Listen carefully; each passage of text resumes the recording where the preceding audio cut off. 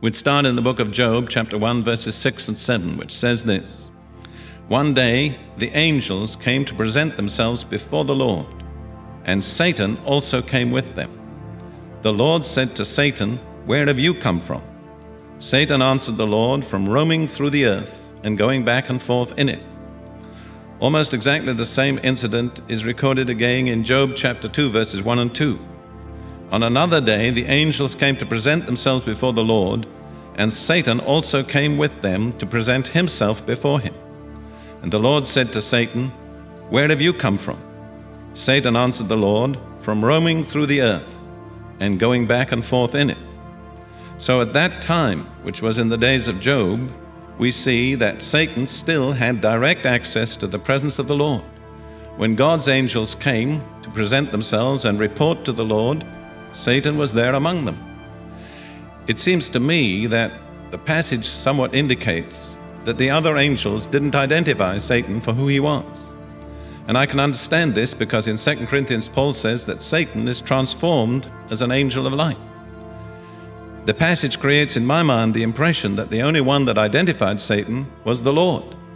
So he could appear in the presence of God, apparently mingling with the other angels, and not be detected. The Lord said, Where have you come from, Satan? In other words, what are you doing here? But the Lord didn't immediately banish Satan from his presence. He actually had some kind of a, a conversation with him. So we see in the time of Job, Satan was still having access to the presence of God in heaven. And then let's go on to the last book of the Bible, the book of Revelation, chapter 12, verses 10 and 11. Then I heard a loud voice in heaven say, now have come the salvation and the power and the kingdom of our God and the authority of his Christ. For the accuser of our brothers, who accuses them before our God day and night, has been held down. The accuser of our brothers, we know, is Satan. And notice that at this time, he's still been accusing God's people before God day and night. Then we go on to read, They overcame him, that Satan, by the blood of the Lamb and by the word of their testimony, and they did not love their lives so much as to shrink from death. Then there's this commentary Rejoice, you heavens, and you who dwell in them.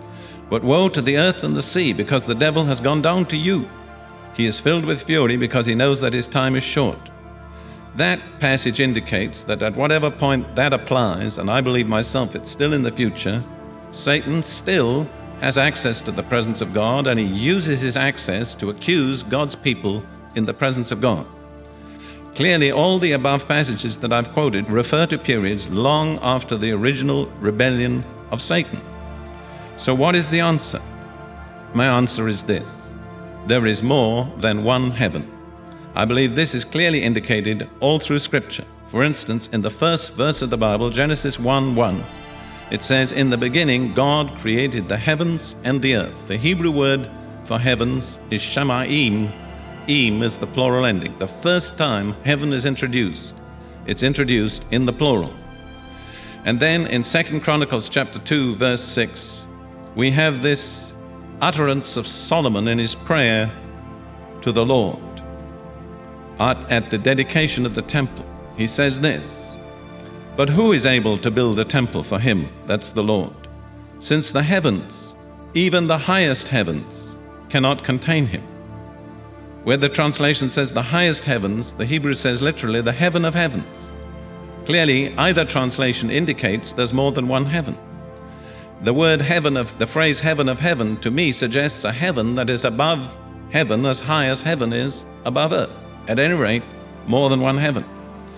In 2 Corinthians chapter 12 verses 2 through 4, Paul is even more specific. He says, "I know a man in Christ who 14 years ago was caught up to the third heaven." Whether it was in the body or out of the body, I do not know. God knows. And I know that this man, whether in the body or apart from the body, I do not know, but God knows, was caught up to paradise. He heard inexpressible things, things that a man is not permitted to tell. Paul says there he knew a man who was caught up to the third heaven. Before I became a preacher, I was a logician, and sometimes I can't get away from logic. Logic convinces me that if there is a third heaven, there must be a first and a second. So there are at least three heavens. The first heaven is the visible heaven the sun, the moon, the stars, that which we see with our eyes, the natural heaven. The third heaven, we know from 2 Corinthians 12, is God's dwelling place. It's where paradise is, the place of rest of the departed righteous. It's the place where this man who was caught up heard God speaking words that could not be uttered. So we're left with the second heaven. Clearly, this must be between the first and the third.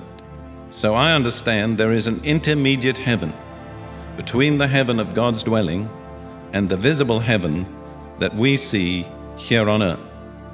And I believe that in this intermediate heaven is where Satan's headquarters are located.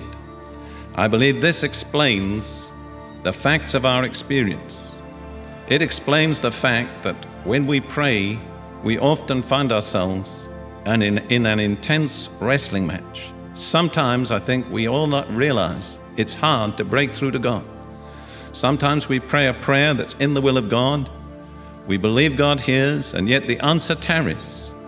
Now, there can be more than one explanation of that, but I believe one major reason for experiences of this kind in the life of sincere, committed believers is that we're involved in a warfare and that the headquarters of Satan's kingdom is located between the visible heaven and the heaven of God's dwelling.